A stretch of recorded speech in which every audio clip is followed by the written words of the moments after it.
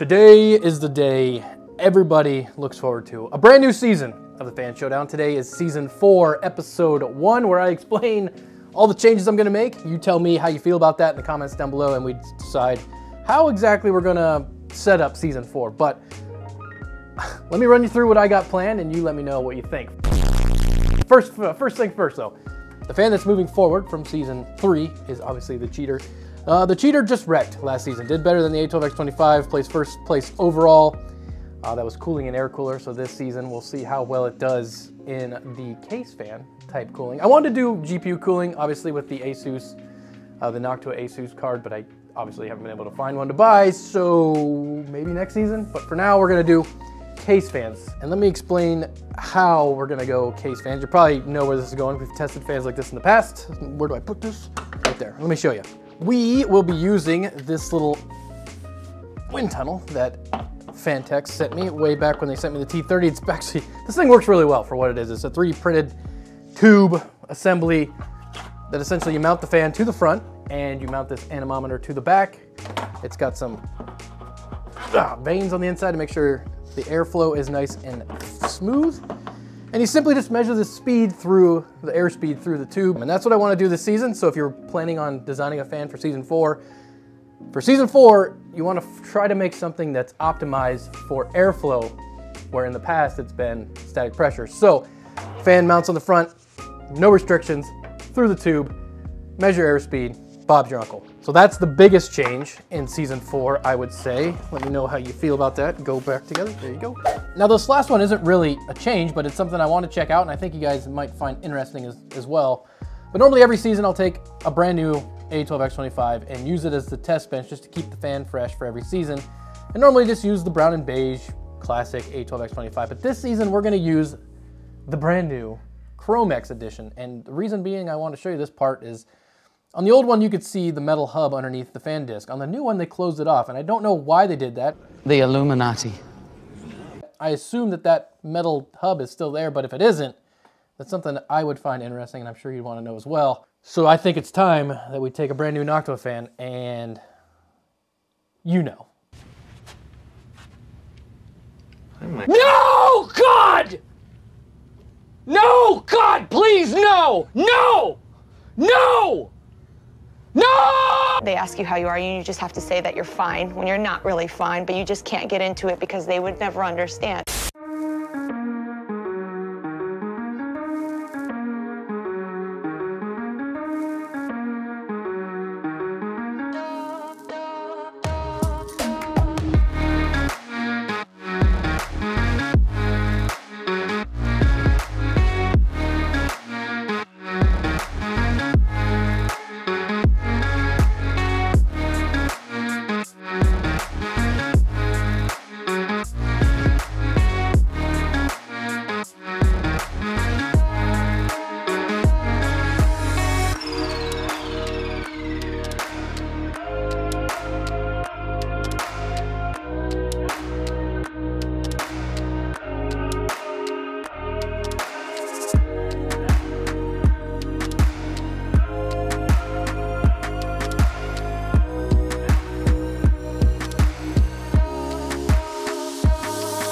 The most part, it came apart just the same as the original. The only thing I noticed that's different on this Chromax one is there's two tiny little holes in the hub here. And I don't know what purpose that they have. I don't know. If you, if you have any idea, let me know in the comments down below. But they don't exist on the original A12X25 or any brown and beige one that I've taken apart. So I don't know why these were added.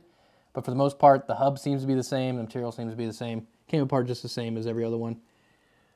So now let's talk about what new fans we have for season four, episode one.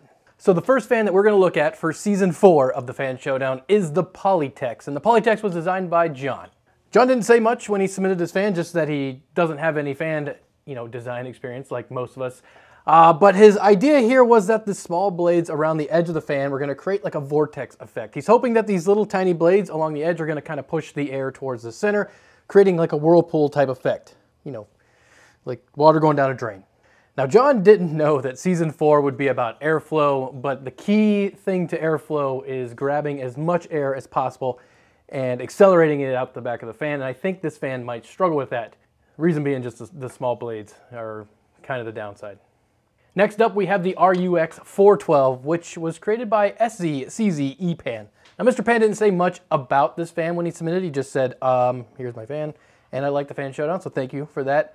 But if I was going to guess the inspiration of this fan, I would say uh, garlic on short final. Reason being is that the hub kind of looks like a garlic clove, and the the blades kind of look like wings with the flaps extended. So th that's where that's where I get that. Then we have the Slim fan. This was created by Gene. Now, Gene said that when he watches other Fan Showdown videos, he notices that the fans that do really well, case in point, this one, are fans that have big shrouds that go with them. Now, rather than create a big shroud to go with his fan, he took kind of a different approach. He just made his fan very short so that the stock frame of the A12X25 would kind of act like a larger shroud for it. So, interesting idea with that one. Overall though, I kind of just like the design of this fan. It's small, it looks good in the frame. The blades are like the perfect ratio of thickness to their size. Like there's like a thin line to walk. If the blades are too thin, the print quality kind of sucks. And the rigidity goes way down. If they're too thick, then you just have extra mass you don't need. But these ones are almost perfect for the size of the blade. These fan, these blades might be perfect, but this next one is gonna be a bit ambitious. This one is the Pro Fan ignore its black tinting. We'll get to that in a minute. But the Pro Fan was created by Artem, and yes, this is going to be another gear fan. The inspiration be behind this fan was the last gear fan that we featured on a Fan Showdown special. I used to have it up here, but I dropped it and it broke, but essentially that fan was a bunch of planetary gears with little tiny blades in them, and as they went around the hub, the idea was that those little blades were gonna move some air through the fan. It made more noise than mm, pretty much anything. But the this one, however, is going to drive a carrier, which is going to have planetary gears within it. Those gears are then going to drive a central hub that has the blades attached to it. Now, Artem says that the gear ratio between the input and the output should be about 9 to 1. So if the fan in a perfect world could spin as fast as the 2000 RPM input motor speed, that thing would be cooking. I'm not sure if that's going to be possible given there's no bearings. I feel like the drivetrain losses are going to be pretty substantial, but I guess we're, we're just not gonna know until we try. But let's first talk about the airflow test. When looking at all these fans with the addition of the cheater, they all do pretty, pretty darn good, with the exception being the Polytex, which doesn't do as good. The Polytex just doesn't have the blade area to kind of push that airflow out the back of the fan, you know, kind of accelerate it as you need an airflow fan to do. Most of the air that the Polytex flings around kind of shoots off to the side. So now you might have noticed a couple things in the smoke test. One, we added the cheater because that's number one, but another thing being, where is the gear fan? Ah, yes.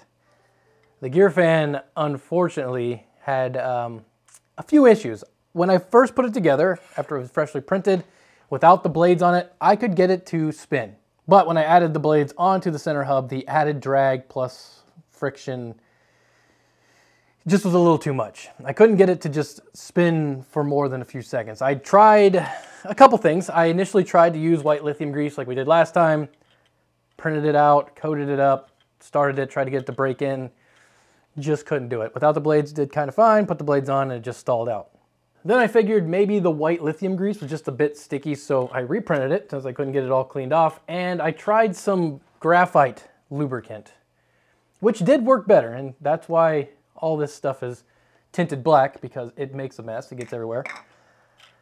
But still, I couldn't get it to work. It worked, essentially I could get the fan to work if it's facing straight up, and to Artem's, you know, to his defense, what he designed it for was the P1, which sits straight up and down, so could have worked for that one, maybe, but when I tried to mount it on like the smoke test stand and the wind tunnel, whenever the fan was vertical, it just stalled out. So unfortunately, although this fan is cool, printing or designing a fan and then printing one that can function with the limited output of the A12X25 without any bearings is pretty tricky. I invite anyone to try. I really like these fans. Everybody likes watching them. If you can figure it out you're a super genius. But for this one, because I couldn't run it on the wind tunnel and do the proper noise test and smoke test, pretty much just got a DNF for for this episode. But it got an A plus for style. And an A plus for making everything completely graphite covered. Now the other thing you might have noticed is that the Chromax A12X25 was mysteriously missing. I went back to the classic brown and beige, this one slightly black from all the graphite powder that was on it. But the Chromax one was mysteriously missing. Reason being, I broke it, which, which is surprising to me. Now, in theory, these fans should be pretty much identical. Obviously, different color, but for the most part, I thought they were pretty much the same, and they probably are. However, I did notice that this one seems a bit more fragile. In a nutshell, what happened is I put a fan on this, and then when I was trying to pull it off, I just ripped the motor right off the frame, which I've never ever done on a brown and beige one. I don't think I put any more extra, any more additional force on this black one than I did all the other brown and beige ones I've used, so I'm not sure why. It just blew out like this. I was gonna buy another black one, and then I was like, why would I buy another black fan just to break it when I have like a ton of these brown and beige ones sitting around? So we're going back to brown and beige. Let's talk about sound. The Polytex came in around 51 dBA. The Rux 412 came in around 49.8 dBA. The Slim Fan came in around 52.5 dBA. The Cheater came in around 51.5 dBA. And the A12X25 Chromax, I did test it before I murdered it. It came in around 46 dBA. The, the Cheater, still, still the best one to listen to. It's not the quietest, but it does have the, the lowest frequency. It has a, has a very appealing hum to it that I would not mind listening to it all day long over the whine of most of these fans. But let's talk about airflow. That's what really matters in season four. How fast do all these fans push air around? The Polytex came in at 350 feet per minute. The Rux 412 came in at 675 feet per minute. The Slim Fan came in at 601 feet per minute. The Cheater managed a massive 768 feet per minute.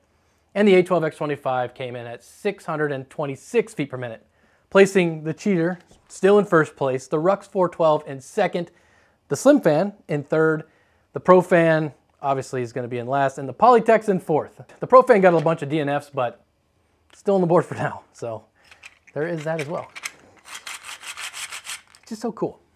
So let's talk cheater for a minute. This fan is, it destroyed last season. It's still in first place this season. It's going to be very tough to beat. I mean, just look at its numbers compared to everything else but I think you guys can do it. It's up to you to make sure that the cheater doesn't cheat its way through season four like it did season three. And remember, you know, if you want to get involved in the fan showdown, all you got to do, head down to the, my description, check out the links. One will take you to my Thingiverse account where you can find documents that will show you the critical dimensions for the fans, also some models to get you going. And once you get your design all straightened out, all you got to do is send me at least an STL file to the fan showdown at gmail.com. And just like the cheater shows, there's, there's no rules. I mean, if you want to even add bearings and other crazy stuff, make sure you supply a bill of material with that. But if it's not something that's super expensive or hard to get, I might just buy it and try it out too. There's no rules. There's no rules! Put your shirt back on. There's one rule!